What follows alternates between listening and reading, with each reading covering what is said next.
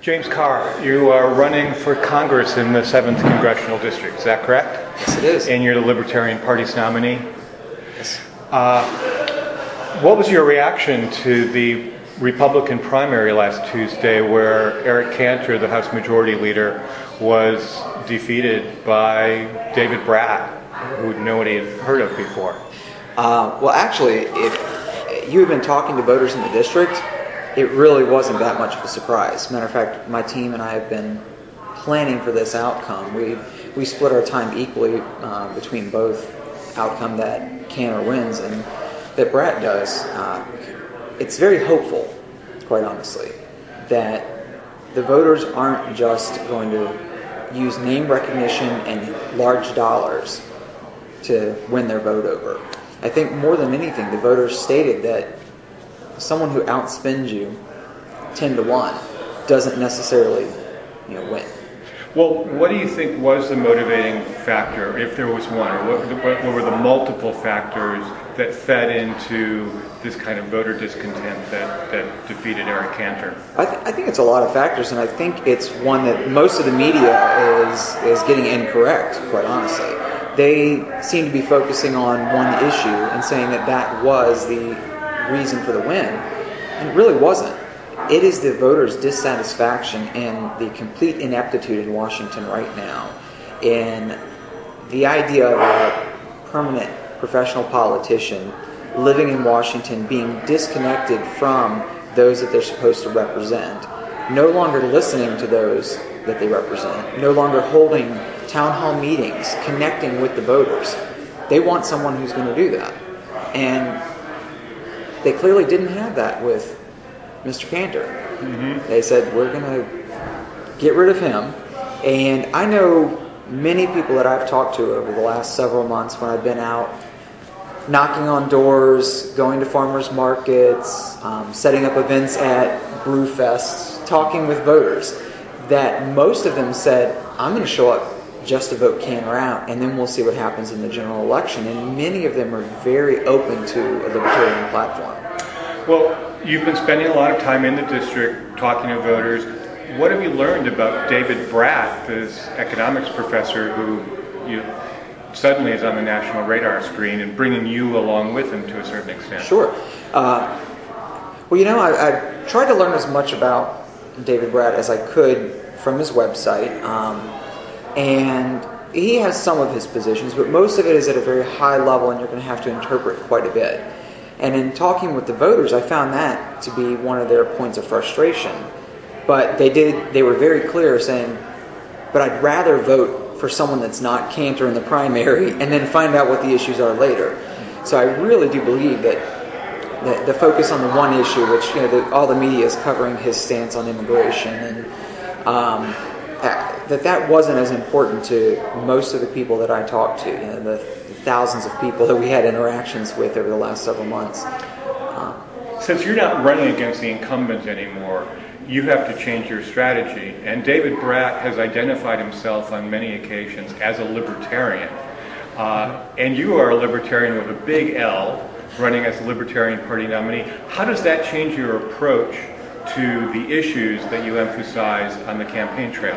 It, it doesn't. It, it doesn't at all. Um, eh, Dave Brat, I don't think he's actually identified himself as a libertarian. I think the media has, because his campaign manager is a libertarian. Mm-hmm. Um, Dave Brat could be considered more of a slightly libertarian leaning Republican on some issues, but on many not. He is, um, on the, the social issues, he's pretty well Republican. And I, I don't think anyone who looks into his website, listens to some of his speeches, would argue that Dave Brat is a libertarian. Is he more libertarian than, say, Cantor? Probably. Um, but I, I would not make the mistake of calling Dave Brat a libertarian. And there's also a Democrat in the race, uh, Jack Trammell, yes. sociologist from Randolph-Macon College. Yes. What do you know about him? Have you had a chance to meet him yet? haven't had a chance to meet him. Um, haven't found anything other than some of his academic work.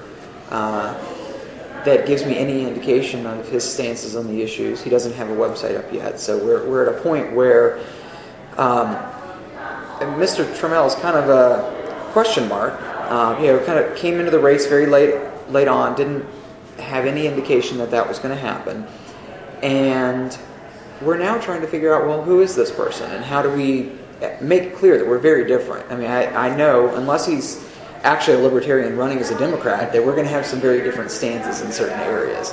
And um, I'd like to be able to address that to the voters very clearly, give them an accurate picture. Uh, I'm almost positive, giving the one interview that I've been able to see with uh, Mr. Trammell and the interviews with David Brat, that this is going to be a very new race for the voters. They're going to have positive messages. They're not going to have negative campaigning from here through November. Well, that, that's a good thing. And, and so my next question is about your background. What do you bring to the race that the other candidates don't? Well, um, they, they're both very intelligent academics. Um, I am, I, well, I consider myself rather intelligent just because well, there's a little bit of arrogance that has to exist for anyone to be healthy. Um, but I, I come from the defense industry, and I've been worked there for several years in cost control, cost management, contract management. I've been in the healthcare industry for about seven and a half years now, and have some very uh, in-depth background and understanding on exactly how the government's involvement in healthcare has completely eroded the actual health care that people are getting from their providers in the end and has increased what people are paying. Uh, most people don't understand that the government drives most of true healthcare cost um, into consumer cost. Um, I'm also, uh, Mr. Brat is an economics guy, and I'm a finance guy. And most people don't understand that those two disciplines are very different. Mm-hmm. Um, but my work in healthcare is also on the analytics side.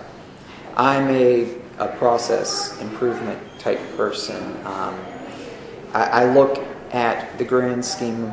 You know, here, here's the large picture, but you need to drill down into certain areas. And how do you do that efficiently? And how do you find ways to squeeze out the most for the least? That that has been my focus. You know, even when I was in the defense industry, and what I want to offer is let's put somebody into office who can find ways to do more efficiently the things that the government ought to, but also find ways to start pulling back the pieces that the government has assumed responsibility for that they were never intended to do. And show the voters, show the public that there are options for the government to stop performing certain things they're going to cost you less in the long run and actually are going to be performed more effectively by you or by the private industry. So we're going to outline outline a very clear path to success with less government. If you could wave a magic wand, what are the three government programs or agencies that you would get rid of entirely? yeah, uh, well, besides Obamacare. Well, because that's the answer everybody gives. And everybody's going to give that one. Right. And you know what? I don't think that the public is quite ready to say, just get rid of it. I think that that's coming. I, I do think that there's, you see the writing on the wall. The public is not happy. The rollout was an absolute disaster. They rolled out an idea that was flawed to begin with. They rolled it out in a flawed manner. So everybody, of course, is going to jump onto that. But I'll tell you that first thing that I'd like to see is Department of Education. You know, and that one some people get really up in arms about, but the idea of this um, federal level control over education, of Common Core, is absolutely uh, hideous approach to furthering real education. It, it, becomes rote memorization that people are, you know, that teachers are teaching instead of true critical thinking. So you get rid of the Department of Education, or at least pull them back to uh, the most basic reporting agency those funds now you know, are not taken from taxpayers at the federal level. The states can decide how they handle education. Right now, the federal government controls how states handle education because they hold the dollars in their hand. Um, I'll tell you, the, the two biggest areas in the federal government, the most, most bloated sections, are the health and human services and defense, so militarization. We're not the world's police. There's significant opportunity to pull back the spending in the defense industry, bringing our folks back home, and providing better protections for us. Our security is not enhanced by having troops across seas fighting battles that are not ours to fight. Um, I also would I would actually get rid of Medicare Social Security programs. And most people have a very uh, harsh initial reaction to that until they understand that I'm not saying you've paid into a program, we're getting rid of it and good luck. That there has to be a very rational, stepwise approach to pulling these programs back. And it involves, um, I don't know if you're familiar with Harry Browne's approach that he outlined many years ago, and it is still very valid today. It's liquidation of federal level assets that the government was never meant to own. These large tracts of land. Like these, Nevada. Right, right. Um, there are buildings. There are, and I can't remember the exact figure. It's obviously grown quite a bit now since uh, his plan was, you know, better than a decade and a half ago. But there are, it's probably close to trillions of dollars of federal assets that they should not own that you liquidate. And you set up individualized plans so that if you've been paying into Social Security, Medicare for, say, 40 years, we're going to give you a personalized account. Now, you can take that money and you can blow it on a, a vacation, and you say, I'm not going to live for two years. Okay, that's your decision. Or you can take that account and you could take it to a private firm. By the way, the private firms outperform government investment 100% of the time. Um, it, you invest, invest that in the private firms or have someone help manage your account. You're going to do better off. When Texas, they, they allowed people to opt out of Social Security and they're getting, I think, a 9 to 1 payout compared to those that stayed with the federal Social Security program. Mm-hmm. So you're actually going to enhance lives. You're reducing what's being taken from people in taxes now. And you're getting rid of a program that has zero chance of maintaining itself in the next 10 years anyway. As you go door to door meeting with voters in the 7th District of Virginia, what questions are they asking you? well, a, a, lot of them, they want to hit on some of the big um, emotionally evocative issues. So I, I've been asked about my stance on immigration. I've been asked on my stance on abortion, on welfare, on gun control. Um, it's it's really not just a one or two. There there's this group that have uh, group of issues that have become sort of key in the media, and everybody gets revved up because they're um, the media has created these polarizing terms. You know, if you think about the abortion issue, um, pro-life or pro-choice, well, these these terms are very emotionally evocative. Nobody wants to be anti-pro-choice, and nobody wants to be anti-pro-life.